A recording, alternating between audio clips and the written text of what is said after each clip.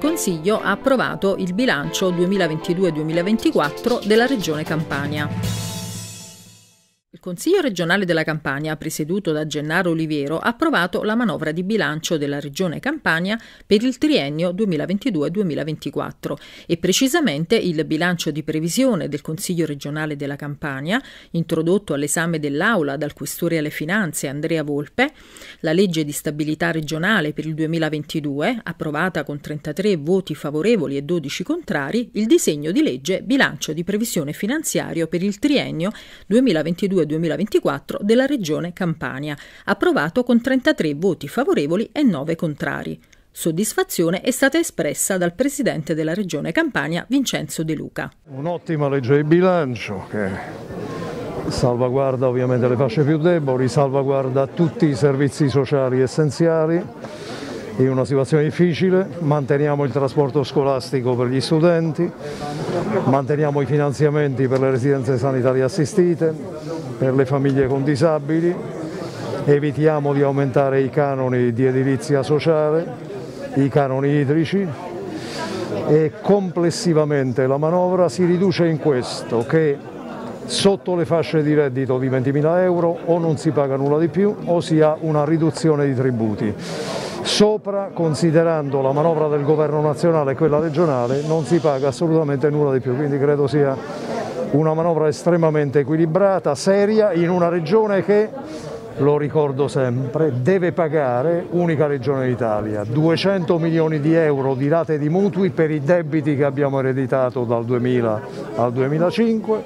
e 600 milioni di euro di rate di mutui per i debiti eh, ereditati nel decennio degli anni 90. La rimodulazione delle addizionali regionali IRPEF, la semplificazione amministrativa, interventi per l'istruzione, le politiche giovanili e lo sport, per gli enti locali, la cultura della legalità e la sicurezza urbana, snellimento procedurale in materia di governo del territorio sono tra i provvedimenti contenuti nella legge di stabilità per l'anno 2022 introdotta all'esame dell'Aula dal Presidente della Commissione regionale bilancio Francesco Picarone. Abbiamo introdotto progressività Abbiamo mantenuto tutti i capisaldi delle politiche verso le fasce deboli, il trasporto gratuito agli studenti,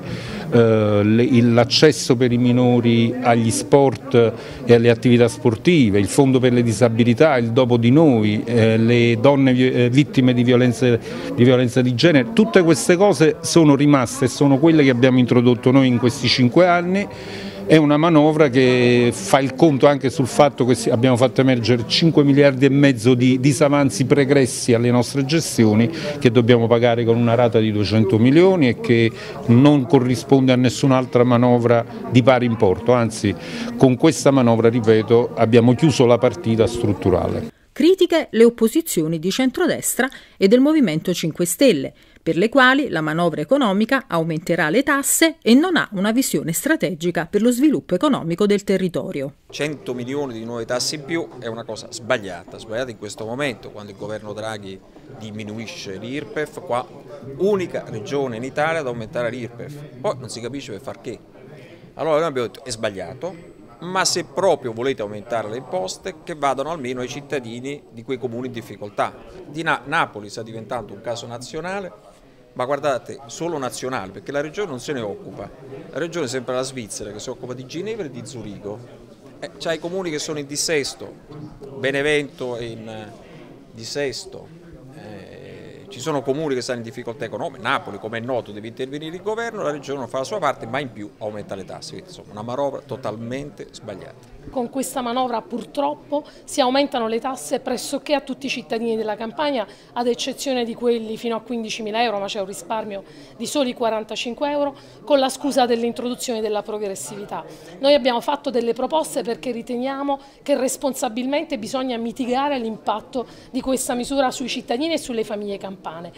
l'aumento delle tasse deve essere per la politica l'estrema razio. Dobbiamo prima aver dimostrato che non c'era altra strada percorribile e quindi la prima cosa da fare che noi proponiamo è mettere mano agli sprechi. Abbiamo proposto una spending review, un piano triennale che tagli, che azzeri gli sprechi della Regione e di tutti gli enti ad essa collegati. Abbiamo proposto detrazioni per le famiglie numerose o con figli disabili e l'applicazione dell'aliquota valida, diciamo minima, fino a 55.000 euro per quelle delle famiglie che hanno figli disabili a carico.